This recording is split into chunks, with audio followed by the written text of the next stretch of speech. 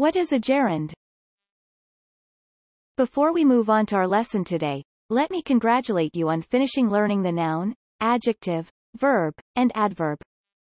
This means you have the word level skills that will help you expertly write and observe all the sentences around you at a word level. In the following lesson series, you will have the ability to get the verbal level skills. And that starts with this lesson. What is a gerund? A gerund is one type of verbal. Verbals are words derived from a verb but functions in a sentence not as a verb. Let me give you examples. Traveling, riding, and talking look like verbs on a quick glance. But did you know that all of these words could function not as verbs in a sentence? We are traveling together. Here, traveling originally functions as a verb. Our hobby is traveling. But here, traveling functions as a noun or a gerund. Observe the two sentences carefully. Traveling, in the first sentence tells about the action that the travelers do. We are traveling together. On the second sentence, traveling is more of an idea that they know. Our hobby is traveling. That's the difference between a gerund and a verb. Action verbs show that someone is doing an action. A gerund, although looks exactly like a verb, never tells about the action of someone. Instead, it names a certain concept in a form of a verb.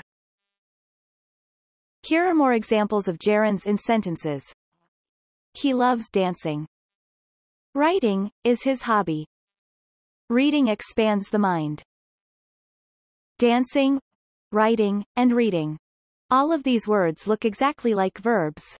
Only when used in a sentence will confirm that they are gerunds. Are you ready to spot gerunds in a sentence? Try the following. The pig started searching for ideas. If you think searching is the gerund, you're right. The word searching is not used as an action. Instead, it names the activity that they do, which makes it a gerund. Searching, for ideas. Here are the next examples. Overthinking is not always good.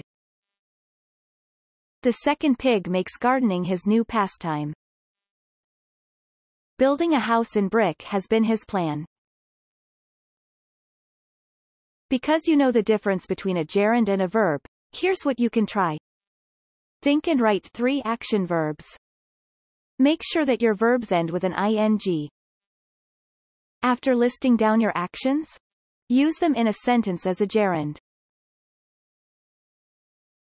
For more free grammar lessons, visit grammarhobby.com.